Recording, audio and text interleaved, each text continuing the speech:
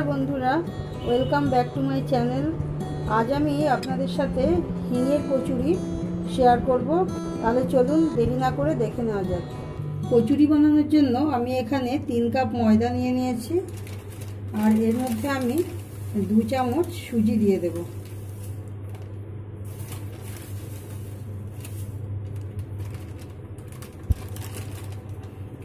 এখন আমি ছোট চামচের এক চামচ চিনি দিলাম। আর ছোট চামচ, ছোট চামচের এক চামচ নুন দিয়ে দিলাম। এবার এটাকে আমি ময়াম দেব, তার জন্য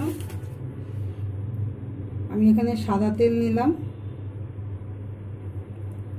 একটু বেশি নিতে হবে সাদা তেলটা, ময়ামটা যাতে ভালো হয়, তার জন্য।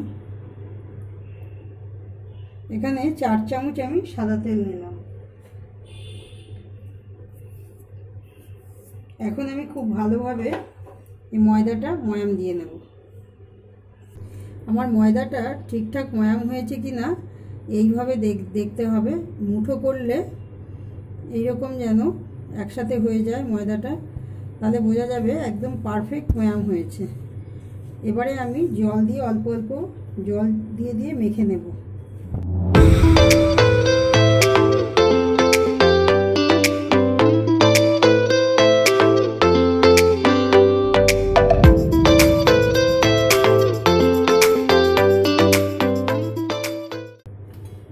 ময়দাটা একদম মাখা হয়ে গেছে। একটু টাইট করে মাখতে হবে। এখন আমি এটা ঢাকা দিয়ে রেখে দেব। আমি এখানে ছাতু নিয়েছি। আমি ছাতু দিয়ে পুরটা দেব ভেতরে। আমি কেনা যে প্যাকিং ফুডটা থাকে, ওটা আমি এখানে ইউজ করছি না। এর মধ্যে আমি হিং দেব। এতটা মতো হিং দিলাম। হিঙের গন্ধটা কচুরিতে খুব ভালো লাগে। হিং দিলাম। আর একটা ভাজা মশলা করে নিয়েছি আমি। এখানে লঙ্কা, শুকনো লঙ্কা, সাদা জিরে ভেজে গুঁড়ো করে নিয়েছি। এটা আমি এখানে এক চামচ মতো নিয়ে নিলাম। পরিমাণ মতো লবণ নিয়ে নেব।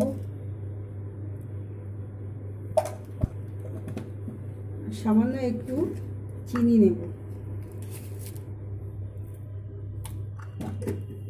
আর একটু সাদা তেল নেব।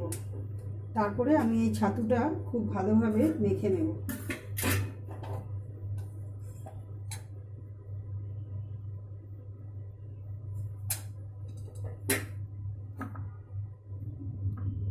অল্প অল্প জল দিয়ে আমি একটু একটু টাইট করে ছাতুটা মেখে রেখে দেব। পুরটা আমার রেডি হয়ে গেছে, এখন আমি ময়দার লেচি করে তার মধ্যে পুরটা ভরে নেব। এখন আমি একটা লেচি নিয়ে এইভাবে বাটি করে নেব সাইজটা আপনারা আপনাদের পছন্দ মতো করবেন। এর মধ্যে কিছুটা পুর নিয়ে ভরে দেব।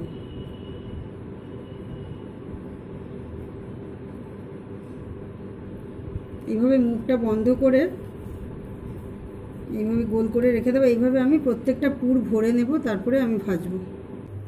এবার আমি কচুরিগুলো বেলে নেব। তেল গরম বসিয়েছি, তেল গরম হতে হতে আমার কচুরিগুলো বেলা হয়ে যাবে।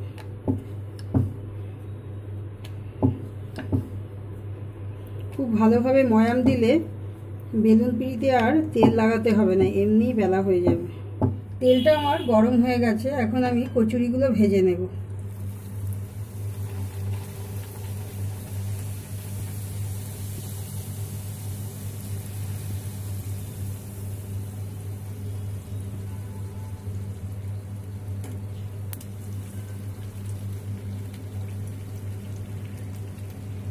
এইভাবে আমি সবকটা কচুরি ভেজে নেব। দেখুন আমার হিঙের কচুরি একদম রেডি এইভাবে আপনারা ট্রাই করবেন, আমার মনে হয় খুবই ভালো লাগবে ডিনারে বা ব্রেকফাস্টে আর ভিডিওটা দেখার জন্য সবাইকে অসংখ্য ধন্যবাদ।